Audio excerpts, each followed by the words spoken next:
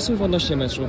Jak wam poszło? Co, jak oceniasz dzisiejsze spotkanie? Mecz, e, wydaje mi się, że graliśmy całkiem dobrze do momentu, gdy e, mieliśmy przewagę jednego zawodnika w pierwszej połowie.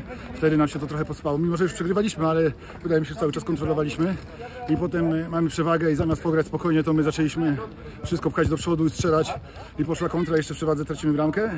Ale później cały czas e, z wiarą, tak konsekwentnie. e, Już sam, to, sam fakt, że doprowadziliśmy do remisu był ok, bardzo fajne, a że jeszcze się udało wygrać szczęśliwie, to już naprawdę super, super sprawa, zwłaszcza, że nie jesteśmy drużyną, której zwycięstwa zdarzają się zbyt często.